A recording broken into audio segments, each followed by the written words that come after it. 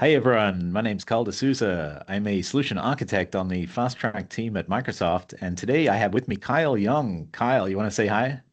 Yes, hi everybody. I'm a principal product manager on the field service product group. So grateful to be here and thank you, Carl, for the invitation. Great to have you here, Kyle. So, Kyle, we're going to talk about field service today, and you have a ton of experience uh, working with different industries that use field service. So how, tell us this, like what's field service to begin with? Yeah, it's a great question. So I go back to the cable guy example, the canonical notion of of the cable guy coming out to do install or servicing your your cable. So it's any time that um, a company who provides services needs to have a specialist or a technician or an expert at a given place at a given time to service a customer. That could be um, business customers or end consumers, either way. Uh, there are a lot of different examples that we'll go through of how a company needs to provide that kind of a service, and we help them to do that. Very cool. Now, Dynamics 365 has this great field service module, right? So, how can Dynamics 365 help customers with field service? Yes. Uh, so, uh, yeah, as you mentioned, um, Dynamics does have a field service module. It is a sister uh, capability, if you will, to uh, sales and customer service and uses all of that same data set. It integrates with um, our ERP offerings for, like say, for parts and and and for billing and so forth. And and so field service, our solution focuses on really three parts of the key parts of the process managing the work in other words what need work needs to be done scheduling that work getting the right resource with the right skills and the right place, the right time uh, to do the work and then perform. And that's basically giving that technician or that expert on site the tools that he or she needs to be able to be successful to get that service done. Very, very cool. And you mentioned the cable guy. I love that movie, by the way. I don't know if he used the field service mobile app though, or uh, you know, he must yeah. have used some kind of tech. That's right. So, so tell us about like some of these industries. Then there's a there's a lot of industries this can apply to, right? Yeah, there's quite a few. Um, I'll I'll go through, but let's start with manufacturing. That happens to be the largest industry that we serve, and so a manufacturer very commonly will generate or manufacture or produce a product and that product will then make its way to their end customers. Again, it could be a business, it could be an end consumer, but quite often those products need to be serviced over their lifetime. And so a manufacturer, either themselves or their partners who are part of their channel, uh, will provide that service over the lifetime of the product. And and so that can be um, scheduled maintenance, um, like a preventative maintenance, or it can be on demand when something goes wrong. Um, either way, uh, then in that scenario, then the uh, manufacturer or their partners schedule the right expert on that product to go service that product at the right place, the right time, and and then you know get get it back working or make sure that it stays working, uh, and they do that on behalf of their customer. And manufacturers value that because it it makes it um, it's an ongoing lifetime relationship with their customers, uh, and they work to provide the very best service that they can so that that customer is happy for the lifetime of that product. Right, right. And you know, as I'm as you're talking, I'm I'm thinking to myself, this must be a great feedback loop for the mm-hmm. manufacturers, right? You know, they get to see what's working and not working in the field, and then they get to improve those products that they build. Yeah, absolutely. Not only does the service get performed, but also data gets captured through that process.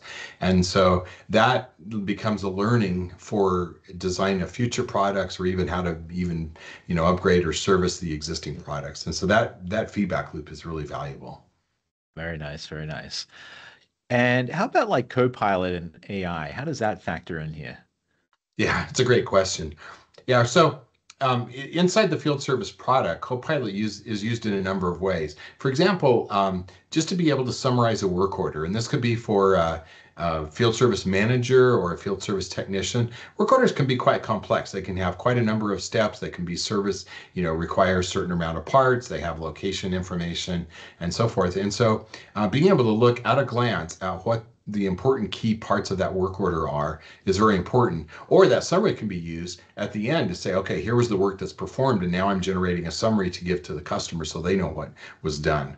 Um, it can also be used uh, in in uh, understanding and, and finding out the next step. So a technician can simply ask uh, Copilot via the field service mobile application that we provide uh, to, to say, okay, I arrived on site. What do I need to do now? And so Copilot can say, okay, let's check you off. Let's do, let's uh, mark off these steps and so forth. And so that's just another area in which Copilot can help. It can help uh, provide the right information to the technician. And um, in the near future, it will also be assisting schedulers to be able to get the right person, the right job at the right time. And so every place where um, there are challenging parts the job or repetitive parts of the job that can be done by AI, we are using Copilot to help that field service manager, that field service scheduler, that field service technician to just make their job that much easier. Yeah, yeah. I love like you know, when I think of the concept of co-pilots, right? Co-pilot is someone mm. that's next to you, helping you fly mm. the plane, right? You know, exactly. You're, yeah. you, you, know, you're flying the plane still, but they're kind of along for the ride, helping you. Yeah. And, and yeah, definitely when you're a technician, you're out in the field, having that AI to guide you yeah. through the process to be able to uh, resolve these issues very quickly. That's invaluable, right? Yeah. Yeah, yeah, that's that's what we're hearing from our customers. And the good news is it applies across a broad set of different industries. Like, for example, the next industry uh, I wanted to talk about is professional services or business services. And this includes things like HVAC, heating and air conditioning, um, security, and you know, servicing those types of needs. Um, and uh, one another example is performing inspections. And in some cases, uh, technicians are sent out just simply to gather information or to assure a certain quality or certain condition. And so they will perform a technician, uh, uh sorry, they will perform an inspection as part of that process. Uh, we also have in that whole category companies that provide environmental services, making sure that um, you know food and beverages are safe or that water is clean and, and so forth. And so that whole spectrum of things falls under the professional services category. All you know, it fits that same type of pattern of getting the right technician, the right specialist, the right place, right time. Yeah, yeah. I can definitely relate to the HVAC scenario. I, I live in a place with a warm climate. So uh, our, our AC is always breaking down. I don't know why. Yeah. We'll probably have to replace it. But, yeah. but, but yeah, but the AC guy is always out here and he's, you know, he has his mobile device and he's looking at, uh, you know, previous, the previous history of what was performed on yeah. the machine. Uh, and so, you know, that's that again, that type of information is invaluable. You know, a tech goes out yeah. to a job, they want to see the entire history. And like yeah. what you said, you know, sometimes that history is really long. They don't want to, they can't really have the luxury of mm-hmm. reading through everything very quickly. Uh, yeah. because you know we're we're humans, we can only process certain information, uh, you know, in a certain amount of time. But having the AI yeah. to summarize that information while you're there on site, that's really really valuable. Yeah, yeah, that is that that is for sure. And speaking of places where we live and work, um, another uh, industry, it's maybe not precisely an industry, but we call it, uh, we think of it as kind of one, is facilities management. So if you think about, um, you know, across both business and uh, residential, um, buildings are, are really a key infrastructure, whether it be hospitals or commercial uh, office buildings or apartment buildings or even individual homes. Um, those are all facilities that have complex set of systems that run those facilities that need to be uh, maintained and serviced over time. And so we see a lot of customers who use field service to go maintain those facilities, uh, especially to understand their history, understand the various systems that are in there that need to be serviced, and then getting again the right person, the right place, right time uh, to be able to keep those facilities um, up and running appropriately and their occupants happy and comfortable. Yeah, yeah. And when you speak about uh, hospitals, for example, right? You know, I always think of like we always think about technicians as being the people that are using these devices and and uh, going into these work orders and bookings, but but really the term frontline worker is more broad because we want to uh, account for people like nurses, for example, yep. and and other people who go out in the field, right? Yep. Yeah, that's a great point. So healthcare is another industry where we see the use of uh, we see the use of field service. And so that could be dispatching healthcare providers out to visit patients and perform, you know, whatever medical need that they have with the right supplies and so forth. We also have customers that provide um, medical um, supplies and equipment, uh, like for example, uh, respiration, oxygen and respiration uh, equipment, which is uh, pretty important for those people that rely on that. Uh, so yeah, that's just yet another industry that that uh, to, you know in which yeah. field service applies. Right, right.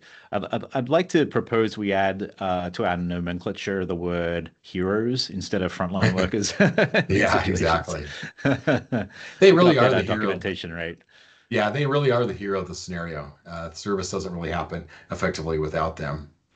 Uh, yeah, another example, yeah. speaking of, of frontline guys and heroes that we see a lot of times are utilities. We come, we count on them for our power and gas needs and other other needs, uh, and and and so again, a very similar pattern. You have assets that need to be maintained, uh, whether you know inside a business or a home, or a, or as part of generating and delivering uh, that service, that um, that utility service. So they are uh, those are that's another uh, field service example. Uh, where uh, those right. technicians, those heroes, are especially um, essential, and they need to be empowered to get get the job done and keep the lights on.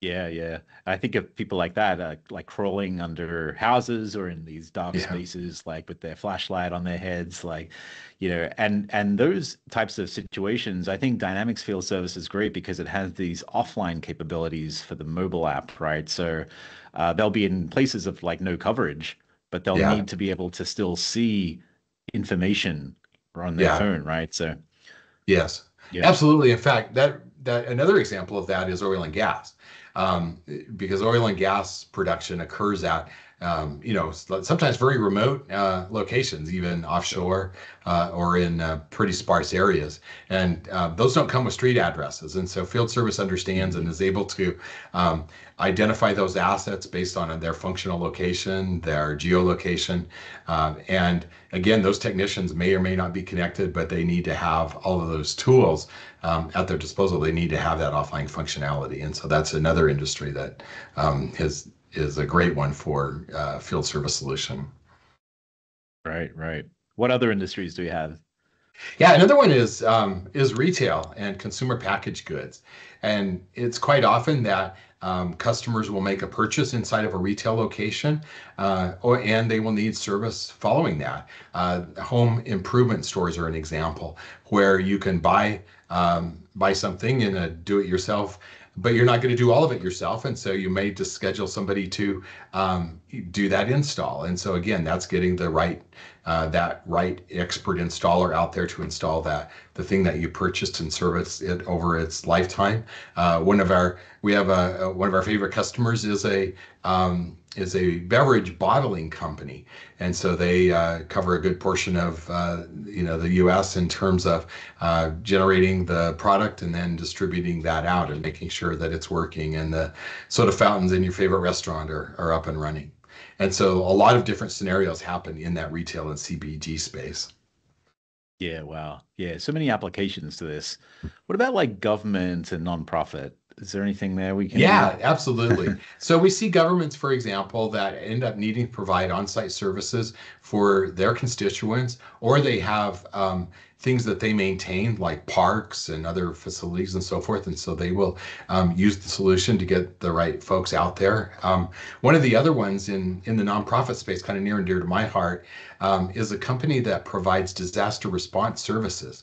Um, they function largely with a lot of volunteers uh, particularly from uh, first responders and former military folks who have great skills to respond in those types of situations. And when there are natural disasters like a you know, a hurricane in the southern U.S. or you know something like that. Um, they rally their volunteers, they bring them on site. But again, they they have those same needs of being able to send the right person at the right place. And in those scenarios, it's really key to understand where they're at, what they're doing, um, make sure they're equipped because keeping those frontline volunteers safe and out of harm's way in a disaster situation is also a really high priority. And so um, it's awesome that our solution helps them to be successful and safe and provide um, needed services to those people who are desperately in need at those times. Yeah, it's amazing. It sounds like the the size of the companies varies quite a bit as well. Uh, from yeah, absolutely. Yeah, we'll have um, at the top end, we have uh, customers who have tens and thousands of technicians uh, that they deploy, and some of them are global, so they're deploying them worldwide. Um, other look other situations, it's a more local company, like it might be a local government um, uh, provider, and and so they they will operate on a smaller scale. Um, the good news is that the solution works across a broad range from you know hundreds of, of users to thousands to tens of thousands, uh, depending on the scale that's required. Amazing! Wow. Well, uh, you know, you covered so many different industries here. I think you covered probably every industry in the world. so, uh, yeah. Yeah, no, this has been fantastic. Any anything else you want to uh, add before we uh, wrap it up? Yeah, I think the key takeaway here is that um, field service is a pretty common scenario, as as we mentioned, across a whole bunch of industries. It's important to, you know, as we think about um, servicing our you know helping to meet our customers needs understanding that pattern. And sometimes we don't even recognize that pattern uh, in an organization. They may not call it field service but it is actually getting that you know expert out the right place the right time um, and so those patterns do exist. And so I think the important thing is we think about how to help those customers is knowing that we have a solution that is available and ready for them. It can be configured to meet their unique business needs and ultimately help them to provide the service that they are committing to their customers. So I think that would be the top takeaway is that we do have a solution to help our customers uh, service their customers. Fantastic. Kyle Young, this has been so helpful. Mm-hmm. Um, thank you for joining us today. Yeah. Hey, thanks for the opportunity.